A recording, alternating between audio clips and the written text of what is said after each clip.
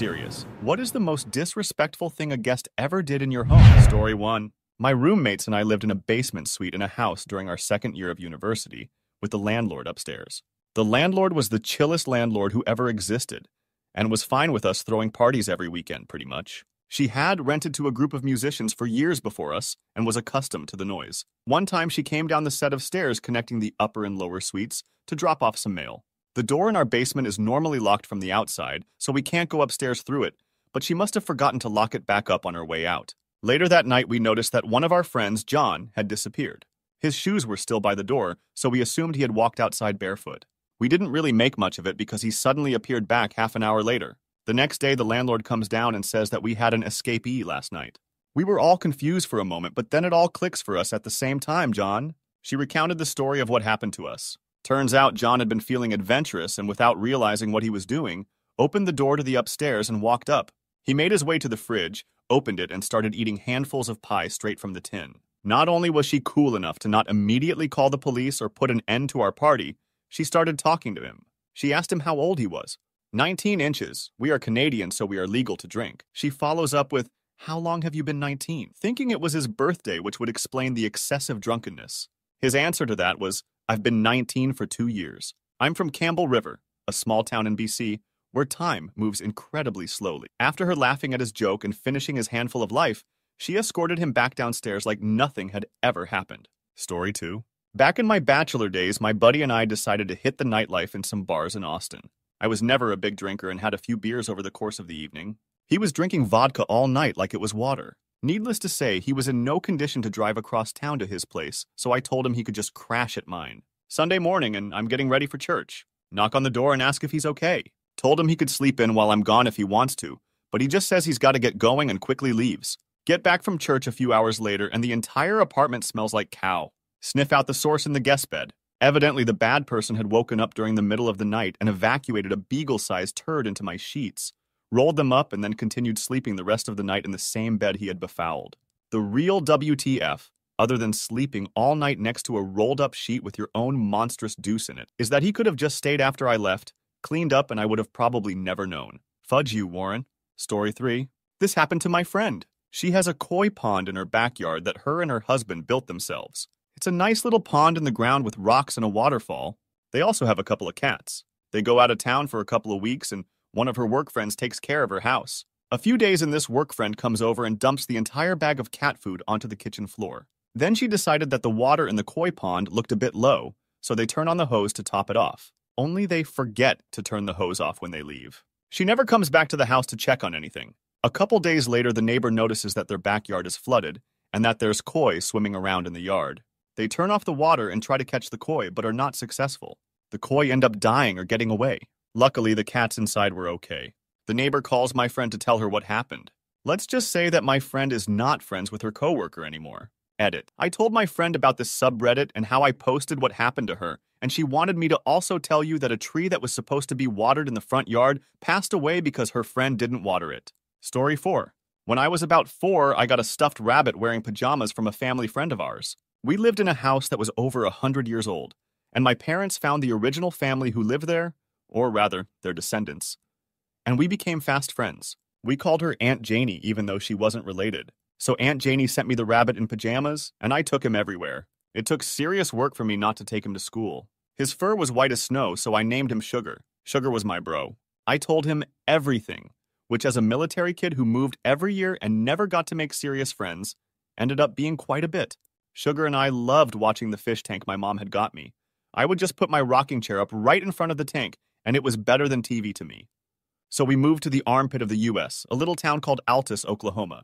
There was a girl next door who didn't seem very nice, but she had a trampoline, so I was willing to deal with it, on the hopes of getting those sweet, sweet jumpy jumps. She came over to our house first, just as a getting to know you first introduction, and Sugar was pulling recon with me. She asked if she could see my rabbit, and I thought hard. Could I trust her? Should I do it so we could be friends and jump on the trampoline? I decided it couldn't hurt after all. We were on me and Suggs' home turf. I no sooner handed her my best friend than she snatched him away, tore off both of his arms, and ripped him from stem to stern. It was a long time in my life before I knew pain like that again. Fortunately, I had a first class trauma surgeon in my family and doctor. Mom spent a solid 30 minutes in the operating suite, Or dining room table, your call. Fixing my boy up. Sugar is still my point man for life. Story 5. My husband's uncle's wife passed away. They were married for 30 years, total sweethearts, and he was devastated. Aunt Dot was wonderful. Everyone loved her. He couldn't cope being alone, so he put an ad out on Match.com, and the first woman to reply, he married. She is the definition of white trash. He brought her to our house to stay for a long weekend to help us put in a deck in our backyard and so we could meet her. She decided to buy a puppy on the drive over, which wasn't potty trained. It was a Pomeranian, and I thought it was full grown and housebroken. I'm at work when they arrive. I come home to pour out the water puddles all over my living room, with her sitting on my couch on a new laptop he bought her. She wasn't watching her puppy, just letting it roam. I was in the kitchen at first and didn't see what her puppy has done. Within five minutes, she told me how Aunt Dot's adult children were terrible and trying to take his money, that they didn't approve of her, and on and on. Then I saw the dog. I have two dogs myself, but she had locked them outside. Needless to say, their weekend was cut short and left early. Story 6. My partner's friend was staying with us and brought his large dog. One night, his dog tore up one of the bed's pillows. Instead of letting us know, he just stuffed the pillow and feathers into the pillowcase to hide it. He left the next day and I went to wash the sheets. I pulled the pillow out of the case and completely covered the room in feathers. It was three months ago and I'm still finding feathers floating around. We give him a lot of grief for it. Edit. I was just reminded about what happened a month later, involving the same guest, Kevin. So Kevin comes back to stay with us for their fantasy draft. All the guys in the league are in town to draft and party, so we are hosting two guys, Kevin and we'll call the other guy Paul. I have known both for years. We all went to college together. It's cool. Saturday is their big day to golf and draft, but it was also a really big day for me. I had been running for a year, never exercised before, and had trained hard for six weeks to run a 15K that Saturday. So the run goes great. I'm lazy the rest of the day. Meanwhile, the guys are golfing, drinking, gambling on golfing, and drinking. They rush home to change and head to a specific wing place that has fantasy draft specials. I'm home when they come to change and meet another member of the league, Mike, who has known Kevin since they were kids. He's pretty tipsy, but we talk about running. He's been training for a full marathon that's in two weeks. So they leave and I go to bed before they come back. They all come home pretty dinged up, which is totally fine. Turns out Mike is going to crash on the other couch. He definitely couldn't drive. My partner gets in the shower in our master bathroom that is only accessed through our master bedroom, super common. I'm exhausted bed and all of a sudden someone busts through our door and into the bathroom. It's Mike. He starts vomiting chicken wings into the sink, not in the toilet next to it, into the ducking sink. All the while my partner is yelling at him to move to the toilet. Side note, we do have another bathroom that was closer to him and empty. Anyway, both Kevin and Paul rush to help and try to shove the food down the bathroom drain because, you know, we have a garbage disposal in our bathroom. Finally, they began scooping it out into a trash bag. I remained in bed with my back turned and pretended to be asleep. After the chicken sink fiasco, Mick settled down and passed out. My partner finally got into bed and apologized, had a little laugh, began to fall asleep. Not even 60 seconds passed before the silence was broken with Mick screaming, Am going to cow myself. Of course you are, Mick, of course you are. He was ushered to the proper bathroom. He used the toilet correctly to the best of our knowledge. Crisis averted. Right? Fast forward 15 minutes to us being woken up by a heated argument in our living room.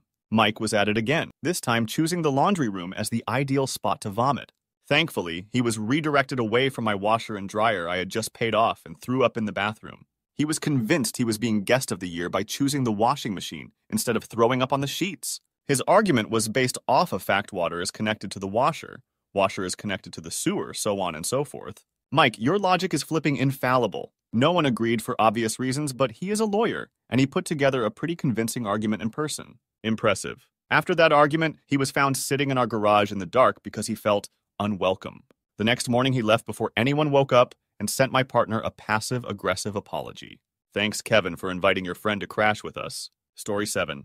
Had a friend staying with us for a while. She was trying to get back on her feet. I had just adopted a new kitten, about 10 weeks old. One day, I am standing in the kitchen, talking with said friend when I hear my new kitty meowing, loudly but sounds kind of muffled. I proceed to start looking around for her. She sounded distressed.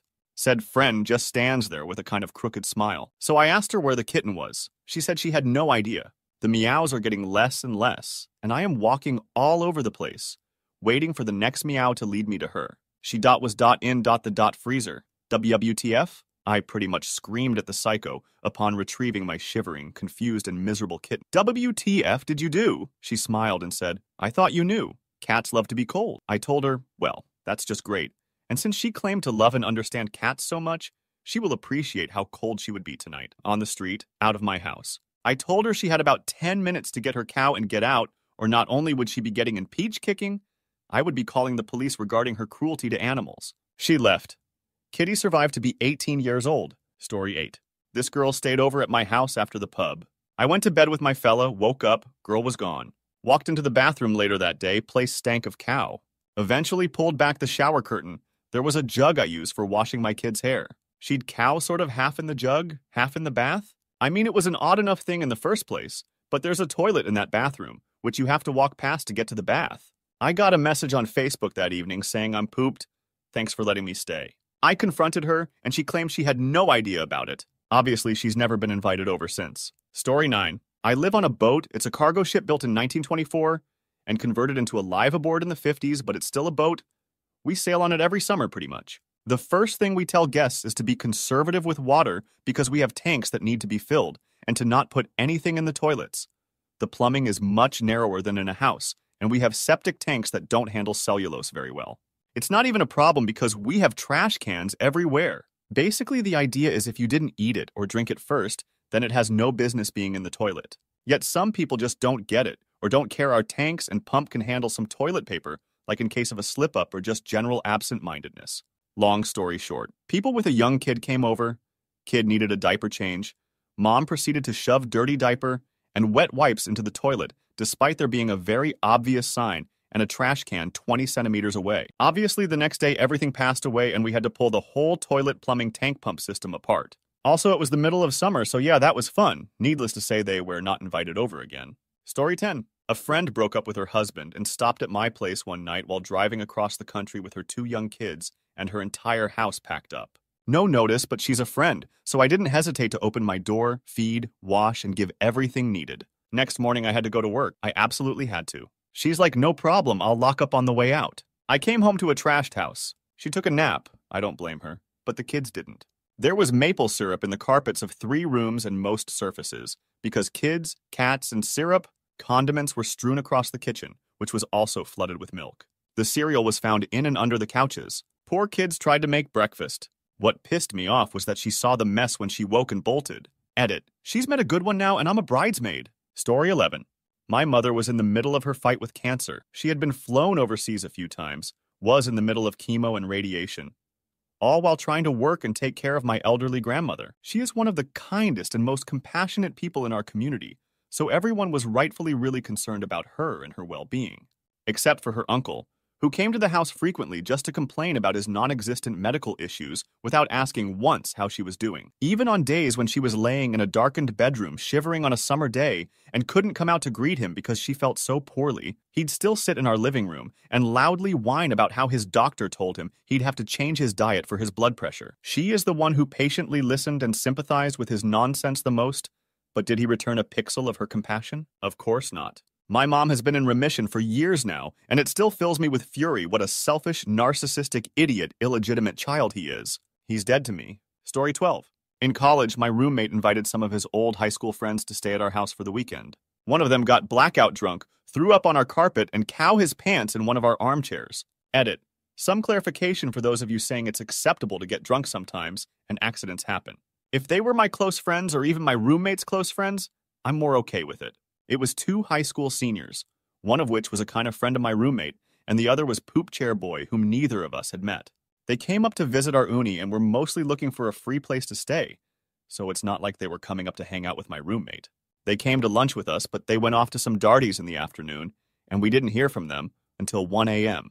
Poop Chair Boy was being carried, and we ended up having to sit him propped up in an armchair with his head in a trash can. He still kept missing the trash can, getting puke on the carpet, and then at like 3 a.m., we heard a loud shart, and then we had to go throw out our chair. Story 13. When I was 10, my mother and I moved across the country from one city to another, leaving all our friends behind. We didn't get to see many of them for years. When I was 13 and had to have knee surgery, and when one of my mother's old friends, let's call her Fat Bad Person, found out she said she was coming up to support me and my mother and help out while I was recovering. This was a woman who was like an aunt to me, the plan was she'd stay with us for two weeks and help me if I needed it while my mother was at work. She arrives the night before my surgery, has dinner and breakfast, and then goes with us to the hospital, all the time being extremely supportive and helping me and my mother through our anxieties about the surgery. Unfortunately, that's where it stopped. When I woke up, fat bad person had gone to get lunch and had eaten too much and gotten food poisoning or something, then had to go back to our place to sleep it off. Sounds legit enough at the time. That night, my mother stayed to have dinner with me at the hospital. She got a call from Fat Bad Person, who was asking, Why aren't you here? I come up here to hang out with you and you're nowhere! My mother obviously replies that she's in the hospital with me, to which Fat Bad Person says, He'll be fine. Let's go to a bar. Surgery didn't go as well as we thought it would, so I ended up staying in the hospital for a few more nights, and every night it'd be the same thing. Then when I finally got home, Fat Bad Person would start saying the same things and start fights with my mother. I came up to see you. Why aren't we going out? We're meant to be having fun. Last time I saw her, she was meant to be hanging out with me while my mother was working, but instead, she was packing her cow while complaining about my mother on the phone to her husband. She didn't even say goodbye on the way out. Apparently, my mom got a text from Fat Bad Person recently saying she was in town and she wanted to hang out because she'd forgiven her. Mom obviously told her no and to not contact her again. Story 14. A friend became homeless, so I took him in. He invited his boyfriend from another state to move in with us without consulting me. I didn't say anything because I was terrified of living alone at the time. An ex was stalking me. He got a dog off of Craigslist instead of paying rent. The dog hurt my little wiener dog, and I had to deal with rehoming his dog because he couldn't deal with the emotions. He misrepresented the situation to his boyfriend and made me sound like a terrible person. My grandpa was in town and helped me move a futon out of storage to my home so my guests could stop sleeping on the couch. When we came inside, the autistic boyfriend was watching weird furry videos at his computer. I left town for three days to visit a friend graduating from basic training. When I came back, they had moved out into another friend's house. After talking nonsense about me, the house was unlocked. There was no water for my dog or cat, Instead of changing the cat litter, they had dumped it right outside the back door. Beer cans were everywhere. I don't know how they could have afforded booze because they supposedly had no money. And a censored photos magazine was left on my bed. They were there for less than three weeks. A couple months later, my friend's lease expired. The couple had not yet gotten jobs. I let everyone else rent rooms from me. When my former guests asked, I was tired of them walking all over me and told them no. Story 15. The guy who we invited to our weekly poker game after he creepily found out about it from a mutual friend and invited himself. It was around Christmas time, so he brings two fruitcakes and tells my roommate and I, girls, in front of our other friends, mostly guys, that the cakes are just for us because they're low in sat fat, his obnoxious way of saying saturated fat, and girls don't want to get fat. He then proceeded to play like an absolute, splashing the candy, trying to bet under the minimum, folding out of turn, etc. He was loud and rude and kept saying weird things all night. Just as everyone was getting thoroughly sick of him, he turns to me and asks me if I want to go on a date sometime, in front of about 12 other people. I was not in any way attracted to this guy, nor had I done anything to encourage him to think so. I told him no as nicely as I could, but goddamn it, he persisted. He asked me out again and said, If you say no this time, everyone will know it's because you think you're better than me, and I'm not good enough to go out with you. Of course, I wanted to tell him that I thought he was an unpleasant person, and that's why I didn't want to go out with him, but I didn't want to end up having an SVU episode based on my gruesome murder. I sputtered out something about not wanting to date anyone at the moment, and he more or less accepted it and shut up. We never invited him back, and we had poker at someone else's house for a while after, just to be sure he wouldn't show up. He later got arrested for threatening to shoot his neighbor over parking spot he'd shoveled out. Story 16. A friend was house sitting for me while I had a long weekend away, they said they would stop by two days out of the five to make sure everything was good and water my plants. They showed up the day I left, unplugged my fridge and left. Came home to everything rotten, and it smelled like someone was murdered in the fridge. Called and asked what happened, and she said she was mad at me because her brand new boyfriend said I was cute. I was in a committed relationship with another woman at the time. Literally the last person to be interested in her scumbag boyfriend. We weren't friends after that, and it took everything in me to not go kick her peach. I'm not a fighter by nature, but that tested me. Story 17. Husband and I threw a party at our house once. Never again. So many guests just had no flipping respect for our property. One guy got in an argument with his girlfriend and punched a hole in the drywall in our downstairs bathroom out of frustration. Someone threw a jello shot at the wall. It went unnoticed until morning when I found it had slid down the wall and ruined the carpet. We had typical party food set out for people to eat, but apparently that wasn't good enough for some people. I caught one lady cracking some of our eggs onto a paper plate because she wanted eggs. Caught another bad person putting an entire bag of my pizza rolls into the microwave, bag and all. For fudge's sake, we had tons of snacks out. There is no excuse to dig through our goddamn fridge for something else. Smoking in the house when we clearly told everyone to breathe in the garage. Found lots of cane butts laying around in the house.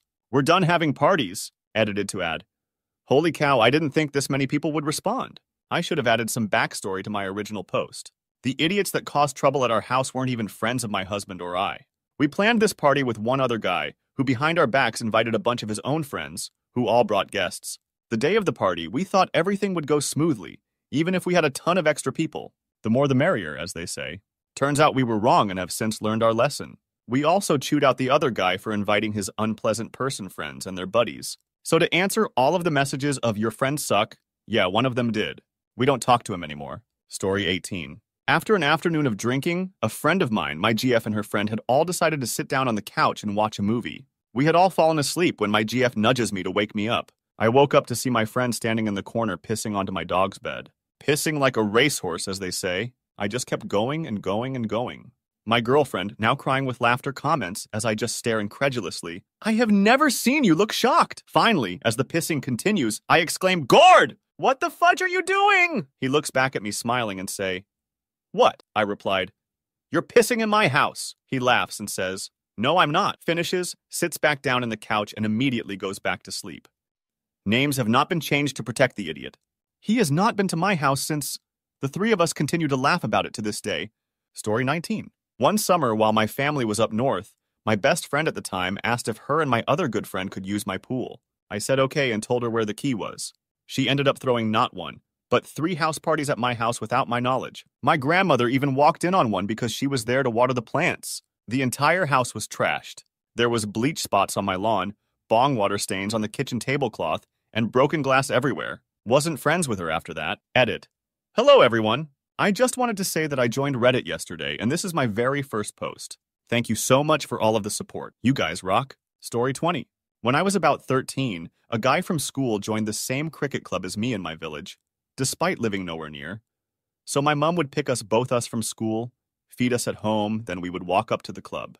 Whilst playing football in the garden before training started, he accidentally kicked the ball over the fence into my elderly neighbor's garden. I asked him to be careful as they often spent time in the garden and had asked us to be careful with balls many times before. He decided to get every ball in my garden and kick or throw them over the fence, including rock hard cricket and hockey balls, one by one until there were none left while saying nothing, just staring at me. Still irritates me to this day. Story 21. One of my former DD players emptied a few pocketfuls of dirt, sod, and mud into our bathtub and bathroom sink. It caused an extremely slow drain for months while we tried to figure it out. And honestly, we still can't understand why he did it. Also, we are recovering alcoholics, and he would leave half full handles of whiskey, good stuff too, for just in case y'all change your minds and want to stop being cats. Then, we have the friend who tried to convince my wife and I to swing. We are not into that scene at all, and there is a limited number of times you can tell me that you want to fudge my wife. That number is one. And trying to get me too drunk to stop you is a bad call, because I had an iron liver at the time, and I will long outlast you. Story 22. While my family was on a beach trip, we let our babysitters babysit the house and cats for one week. We trusted them, or so we thought we did.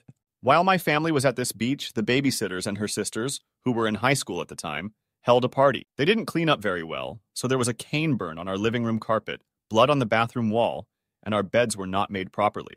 My dad went berserk, and they ended up having to pay for all new locks to the house and a new carpet. They could have been messed up harder, but I guess my dad decided against it.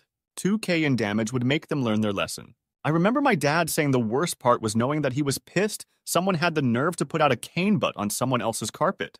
So yeah, that's pretty, oh no, disrespectful. Story 23. A few years ago, I had just moved to another town 100 kilometers from my hometown to attend uni. One day, as I'm about to make my way to class, I get a call from a close friend, telling me he dropped some acid and he's on a train to town I'm staying in, and asks if he can come to my house to chill breathe some candy. I obviously agree. I was a terrible student, and as I said, it was a close friend. Go to pick him up at the station and make way back to the house, which I was sharing with two flatmates, both girls. Everything seems to be fine. We blaze a couple joints, start watching some South Park and chilling. At one point, one of my flatmates starts cooking lunch for all. We all eat our food, and she goes back to the kitchen as I go peeing. When I get back, I find my friend in the kitchen, where he's cornered said flatmate. Not like physically restraining her, but our kitchen was very narrow, and he was in front of the only door. And out of the blue, he asks her to fudge him, getting more and more insistent about it. My flatmate refuses, obviously distressed by the situation, but I manage to grab my friend by the back of his shirt. I tell him we gotta go and shove him outside the house, where I tell him I'm getting him on a train and he's going back home. Later on, I found out he had had a huge mental breakdown and was later diagnosed with schizophrenia and underwent some major therapy. Details are hazy as I did leave the country shortly after. When I got back, my flatmates were talking about it, and even if they said it was all good and nothing serious had really gone down, they were both very badass, I must say. I still feel kinda guilty to this day when I think about that episode. Being the one who got the dude in. Edit. Formatting. Story 24. I can't remember who it was. It was a family member. My son was around too, and he was getting himself an apple or an orange. He'd get it off the counter, peel the sticker off, wash it, and proceed to peel it or just eat it. Well, as he was washing his fruit, a guest goes to him and takes his fruit and tells him he's too young to be getting his own food. I tell them I taught him how to get a snack, and it's okay if he wants to eat some fruit. They insist that he should ask first, and when he said please, they washed it and prepared the fruit for him. To me, that's disrespectful because I teach my son how to take care of himself, and he gets so happy when he can do more things for himself. And they took that away from him and made him beg for something that was already his. Story 25. I had a friend that lived down the street from me. He would come over often, and I would go over often. He got in the habit, however, of just walking in our house. One day he knocks and my mom answers the door, who is like seven months pregnant. We had to go somewhere, so my mom was like, sorry, not right now. He shoves the door open and my mom gets hit. My mom is trying to push our door shut while he's trying to push it open, like a game of tug of war. He had the better angle and she was pregnant, so he had the advantage even though he was like 10. So I run up and help push the door shut. The next day he gets chalk and writes cuss words all over our driveway. We had various occasions where he would treat my family this way. Why I continued to be his friend? No freaking clue. Story 26. This was 15 years ago. A work acquaintance ended up at one of our semi regular poker nights. She spent the entire tournament on her phone, complaining about how bored she was. She was also helping herself to our booze and generally being a poor guest in my house. I always insist that drunk guests stay the night, unless they arranged for a safe ride home. This girl passed out on my couch long before people were ready to leave. Fast forward to the next morning when she is waking up and pour out the water soaked couch cushions and a nasty hangover. She quickly drove herself home without saying a word. No apology and no acknowledgement of her sloppy behavior. I didn't start her new couch pisser nickname at work, but I did nothing to stop it. Story 27. Had messy anal in my roommate's bed. We had known this girl for a little bit, and we were all out drinking one night. The plan was for her to crash at ours because she lived far away. She asked my roommate if she could head to our ahead of us because it was late and she was sleepy. My roommate and I were still up to party, so we stayed out a while longer. I ended up crashing at my girlfriend, so I didn't find out about any of this until the next morning. Unbeknownst to us, this girl met a guy, and that was her real reason for wanting to leave early. When my roommate got home, this girl was passed out, and there was cow smeared on the wall next to her bed.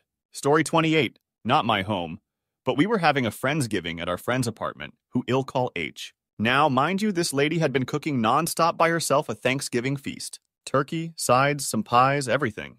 Girl had been working hard to make this awesome feast, which I might add was delicious. The one thing she didn't get to was stuffing, so she asked someone if they could bring stuffing. One guy volunteers the day before. He chose to do this, it's important to remember that, to bring stuffing. Come the time to eat, stuffing man isn't there. Food's all laid out, wait to be eaten, but stuffing man is like 10 minutes late. Finally, we get a call saying he's picking up his stuffing and coming over. Great, we can wait a little more. He arrives and what does he have? A box of stuffing, not made. He literally went to the store and bought a box of stuffing without having even made it. When we asked him what he was doing with the box, he said, Oh, H can just make it for us. At that point, we all wanted to give him some slaps to the face. H made the stuffing, but you could tell that it seriously pissed her off, and I don't blame her. Ever since that, we literally don't give him any task or duties in terms of organizing fun things. Anytime he asks why we don't trust him, we just tell him to stuff it. Story 29. My ex's mother came to visit, and she was just a terror. The ex and I were renting a small apartment on a tight budget for college. His mother comes over and brings her new husband and their toddler son. She proceeded to raid our fridge and cook food for the three of them because they didn't want to stop for food on the way, 2.5 hour drive, and their son had no discipline at all. He took a few bites of our fruit and then just leave them. He found our cases of water and soda and started to open them. They just let him do it. The ex didn't say anything because he wanted to avoid confrontation. The visit proceeded with his mom commenting on how I had dyed my hair made me look like I had bald patches. Honestly, I'm so happy that woman is out of my life. Story 30. Back in college, my four friends and I rented a house, And between the five of us, we had enough friends to throw pretty big house parties, like 150. 200 people that we all knew pretty well. So we trusted them and we would leave our rooms open if people wanted to chill in them. The first few parties went fine until one of my roommates met this kid we'll call Chris. This flipping kid, of course, the roommate that met him has the worst judge of character. First, my friends in the line for the bathroom tell me they think there's funny business going on in there, so I start banging on the door. Chris walks out with a girl claiming he can't concentrate with my banging, so I tell him, Good, knock it off. Then my roommate catches Chris heading into his room, which was empty, with a girl who was very clearly too drunk to make any decisions. So he kicked them out immediately and told Chris to get out of our house. We thought he had left. But since my bed is hidden in my room and we didn't think he'd have the audacity to climb over all the cow I put in front of it to specifically block people from going to my bed, we didn't notice him there. So when we finally see that he's lying in my bed, I tell him to get the fudge off. In the process, he drunkenly spills an entire beer can on my pillows and mattress. I have a weird tick about my specific sleeping habits, so I couldn't sleep for days. It took everything in me not to punch the cow out of this idiot. Story 31. Slapped the back of my head because I said something he didn't like. In my house. It wasn't a love tap either. Dude smacked the cow out of me. Then got mad and told my GF at the time I was going to be an abusive boyfriend and she should leave me after I grabbed him by the chin and told him not to disrespect me like that again or we'd have a big problem. It was my cousin. To this day, I just small chat to not cause family drama, but still don't talk to him like I used to. I may have overreacted, but I'm a grown man and it was my house. Don't slap me, it's disrespectful. In fairness, everyone had a few drinks in them at the time of the slapping slash chin grabbing, or I don't think any of it would have happened. But the abusive stuff he told my GF was the next day sober behind my back, which is what upset me the most. Story 32. 1. Roommate invites this guy over for whatever reason.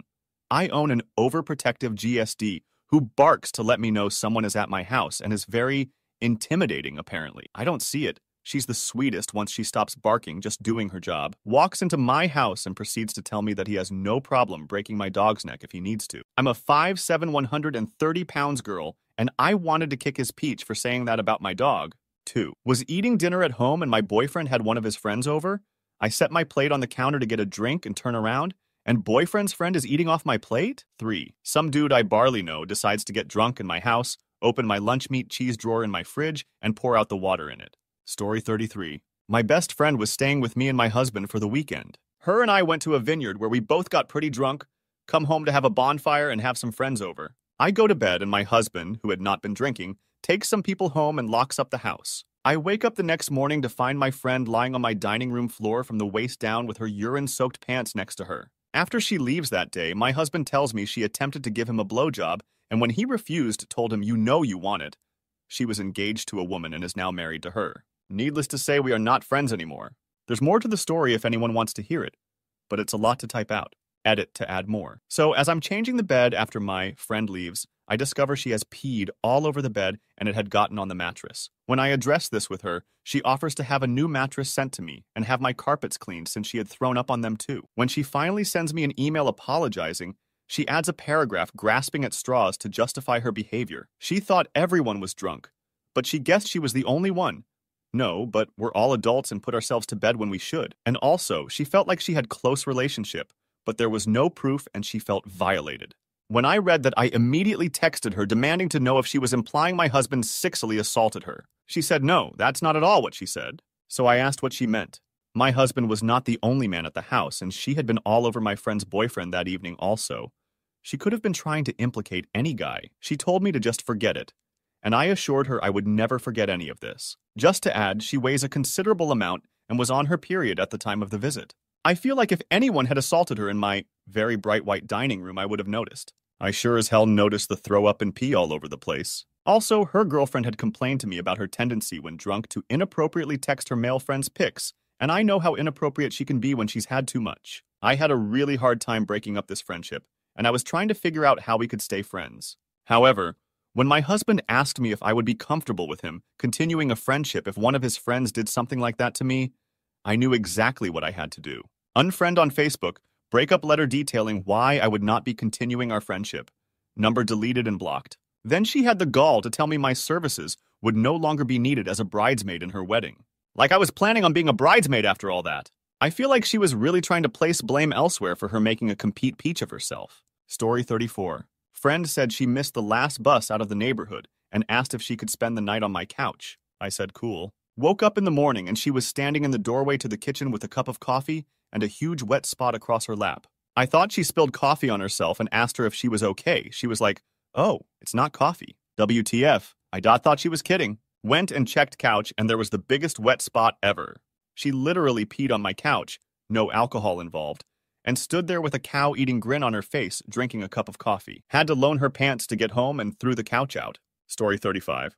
I don't care if people breathe candy, used to breathe myself, but when I moved in with my SO, I told them I couldn't be around it because I work for police departments and they always candy test, didn't even want to chance a home visit with the smell around, and I was in the application process for a few departments. One night, we're just sitting at our apartment when his brother shows up with his two friends who are clearly strung out on something. I told them to please not breathe in the apartment, but they proceeded to dump candy on the table, all over my book I had there and were about to breathe.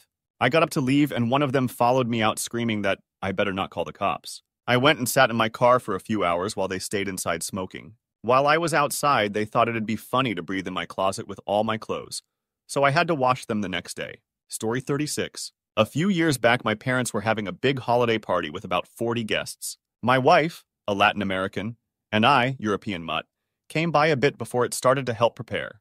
Well, about an hour or so into the party, my wife says we need to go. I'm like, oh great, what happened? My wife says, I'll tell you in the car. Smart woman. We made up some excuse to my family and left. Apparently, one of the guests said something rude to another guest about my wife.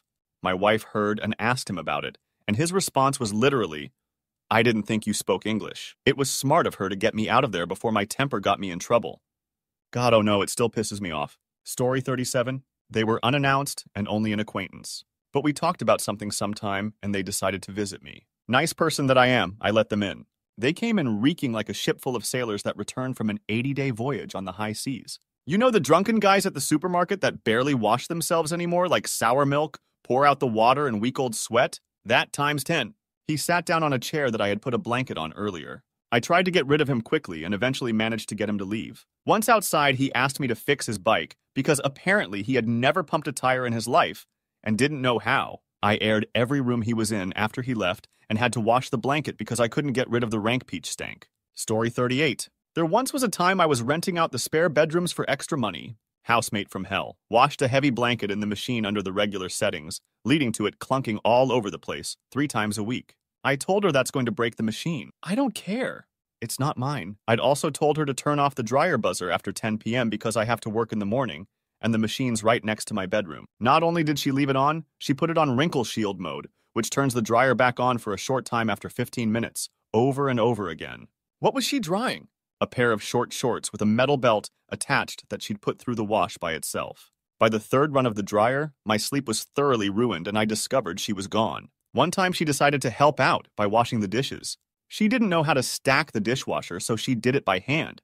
But she also didn't want to get her hands dirty with soap, so she squirted the detergent directly on each dish, waved the brush over it, and rinsed it right down the drain. She then complained that the hot water had stopped working halfway through, but by that point, she'd already wasted an entire bottle of concentrated dish soap anyway. How do we know she couldn't stack the dishwasher? She once put a laundry pod in it, with the glasses facing up. The final straw was when she'd forgotten her key, and instead of asking me for help, had her boyfriend break the door down. Story 39. Oh man, do I have a story? Not me, but my best friend, my friend, had a nightmare scenario in which she sent me play by play updates because it was so insane. Started outside the home, but finished inside the home. My friend went with three other girls friend one, friend two, and crazy girl to visit one of their friends, the host, about five hours away. No big deal. They were all excited and chatty and were having a good weekend with each other on Friday. I received updates. They all looked happy and excited to be there. Then Saturday rolled around. They went into the downtown area of where the host lived. Crazy Girl wanted to take old timey photos in this photo booth with friends 1, 2, and the host. None of them wanted to take photos, so they declined. Crazy Girl got angry and started making snide, passive aggressive comments. Made the situation uncomfortable, Everyone tried to ignore them and or laugh it off, but Crazy Girl wouldn't stop and kept complaining about the high price of everything. Though photos were $20 starting, she claimed she was broke. They left to go get ready for some nighttime event and had to go back to the host's home. Crazy Girl didn't stop making snide remarks. Finally, at the house, my friend decided she'd had enough of this brat's griping, turned to Crazy Girl and told her to stop acting like such a bad person. Crazy Girl didn't like that at all. They all got into a screaming match. Crazy Girl accused all of them of being horrible friends, called the host a terrible host, and then went into her guest room and locked herself in there. The host burst into tears. It was her first time hosting everyone at her new house, like, ever she'd always lived with her parents before this. This wasn't supposed to be how it was for her. The host sucked it up like a trooper and tried to talk to Crazy Girl through the guest room door. Crazy Girl wasn't having it, ignored her through the door. Friend 1 finally convinced the host to leave her alone to cool off and keep up with the plans of going out that night.